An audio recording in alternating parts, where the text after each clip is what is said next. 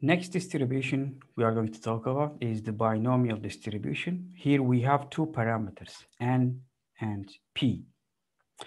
And binomial distribution represents the number of successes in n independent Bernoulli p trials. So this p here is this p, and this n here is this n here, okay? So you perform n independent Bernoulli p trials, okay? So for instance, you have a coin where, um, let's say if you, if you define success to be heads, the, the probability of heads um, is assumed to be p, and you, cause, you, you, you toss this coin n times, okay? Um, so the binomial distribution uh, represents the number of successes in this sequence, what, whatever the outcome is. Of course, if you have n Bernoulli trials, the number of um, successes you can have can be 0, 1, 2, etc., up to n. Okay, it's, it's a finite support distribution. It cannot be negative. It cannot be more than n, clearly. Okay, so this is the sample space. Um, and let's let's assume your outcome is this sequence. Let's say theta 1, theta 2, up to theta sub n. And each of these thetas is either success or fail. Okay, and when, when you uh, consider the order important, and this is a distinct sequence, and the probability of every such sequence is given by p to the power k times 1 minus p to the power n minus k, where k represents the number of successes, right? Because this is a distinct sequence, and uh, if uh, any any theta here is a success, it has the probability p. If it's a fail, it has probability 1 minus p. So this is the probability for a particular uh, outcome sequence. And we are interested in not the sequence itself, not the order, but the number of successes in the sequence.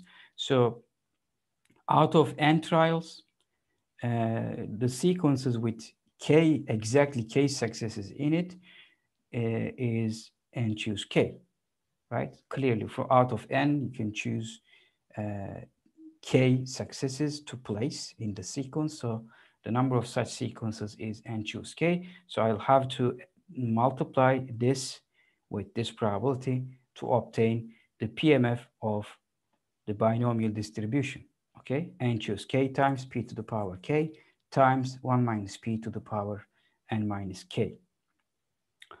Okay, and uh, of course the sample space is given here. At this point, uh, you can recall the binomial theorem uh, the sum of, well, the, the nth power of a plus b is given by this expression, the sum of these terms, n choose k times a to the power k times b to the power n minus k. Here, if you plug in, instead of a, if you plug in p, instead of b, if you plug in 1 minus p, you get this in this expression. Therefore, this is equal to this plus this to the power n. So p plus 1 minus p to the power n, which is clearly 1 because this makes 1, uh, which is what? Which just shows that uh, this is a legitimate PMF because its sum uh, is 1, okay? And since obviously when p is a probability, this is a non-negative function. And since the sum uh, makes 1, it's a legitimate PMF. Next, let's talk about the expected value of the binomial distribution with the parameters n and p. Here I have given the derivation. Uh, let me just go over it uh, briefly. Here, of course, you have the PMF and you multiply it by k and add them up. Um, I'm giving this so that you sort of get an idea about how to do these computations? Well, obviously, when you plug in this to a computation engine like Wolfram Alpha, it can give you directly the result. But it's it's good to, that you know uh, how to actually compute these uh, sums and maybe integrations yourselves. Okay, so here, uh, just observe um, when you plug in k equals zero, since you have a multiplier of k here, uh, that term will be zero. So I can start the sum instead of from k equals 0, from k equals 1. Okay? And then what else? Um, let me write the, the binomial term here and choose k as, as this expression.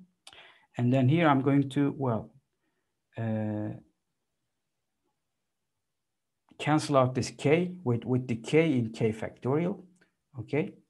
And then I'm going to pull out 1p from here. So I'm going to write this as p times p to the power k minus 1 and this as n times n minus 1 factorial.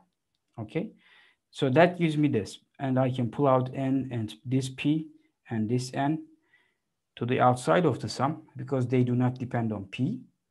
And the sum is from 1 to n. Here I have n minus 1 factorial, and here I have k minus 1 factorial because k canceled out with this k here. Okay, and then I have n minus k factorial, p to the power k minus 1, this one, and 1 minus p to the power n minus k. Okay, so now observe that this term here is n minus 1 choose k minus 1. So I have here n minus 1 choose k minus 1 times p to the power k minus 1, 1 minus p to the power n minus k.